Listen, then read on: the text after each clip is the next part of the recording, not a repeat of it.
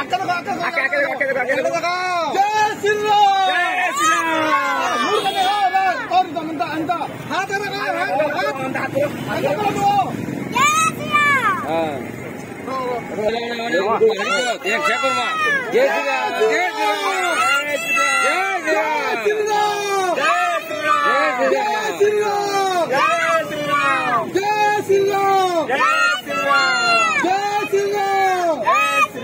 ଆପଣ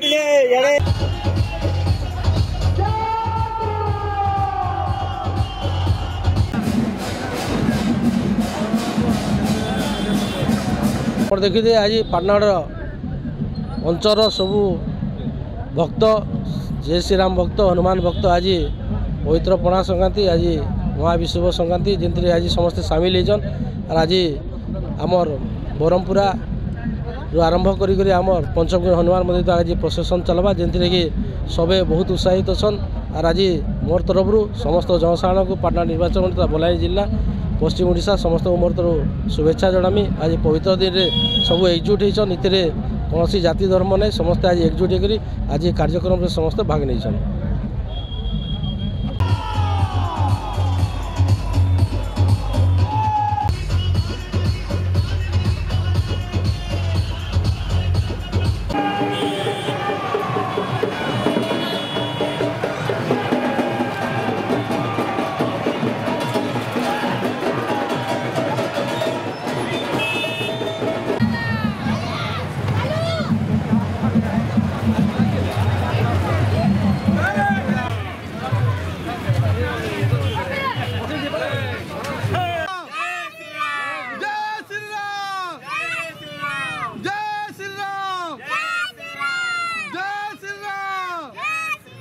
DJ